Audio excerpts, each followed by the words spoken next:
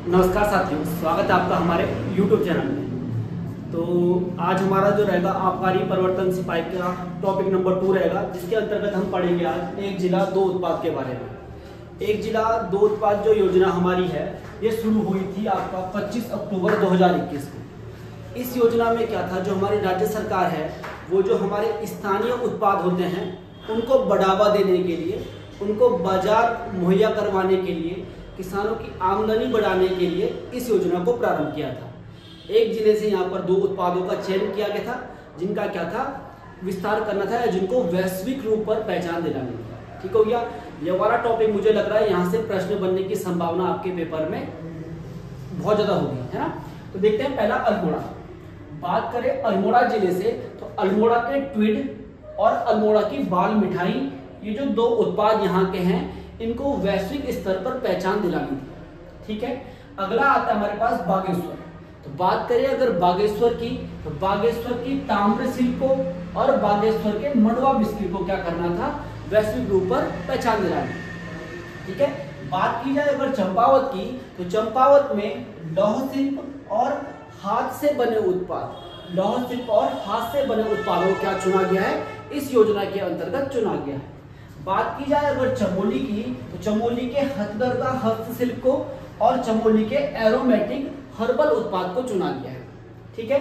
अगले बात की जाए अगर देहरादून की तो देहरादून की बेकरी उत्पाद और देहरादून का मशरूम उत्पाद को इस योजना के अंतर्गत चुना गया है। ठीक है?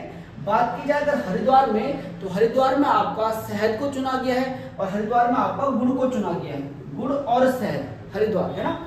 बात की जाए अगर नैनीताल की तो नैनीताल की एपन कला, है ना? नैनीताल की एपन कला को चुना गया है। आपके लिए प्रश्न रहेगा भाई, आपके लिए आज का जो प्रश्न है कि एपन गर्ल कौन है? आप कमेंट करेंगे एपन गर्ल किसे कहा जाता है? फटाफट आप लोगों ने कमेंट करना है इसमें एपन गर्ल किसे कहा जाता है? ठीक हो गया?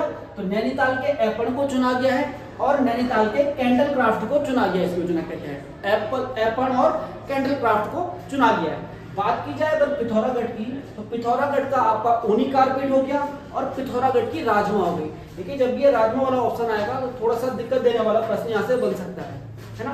क्योंकि जो राजमा है, ज़्यादातर बच्चे राजमा को टिक कर देंगे उत्तरकाशी में, ठीक?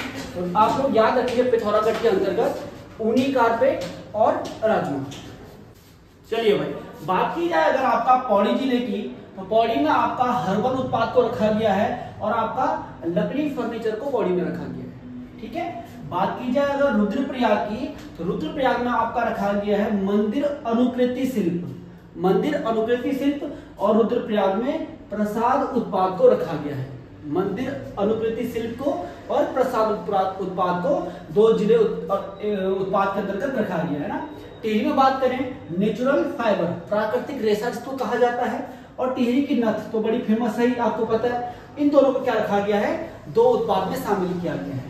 बात की जाए अगर उधम सिंह नगर की, उधम सिंह नगर में आपका मेथा ऑयल आ जाएगा और आपका मूंज ग्रास। मेथा ऑयल और मूंज ग्रास कहाँ पर है? उधम सिंह नगर में। अंतिम में अगर बात की जाए उत्तर काशी में तो उत्तर काशी का भी हस्तशिल्प को यहाँ पर शामिल किया गया है और जो सेब से बने हुए उत्पाद है, सेब से बने हुए उत्पादों को शामिल किया गया है। ये पूरा टॉपिक आप लोगों ने याद कर लेना है, कहाँ पर कौन से दो उत्पाद रखे गए हैं। आपके आगामी परीक्षा के लिए बहुत इंपॉर्टेंट होगा। धन्यवाद।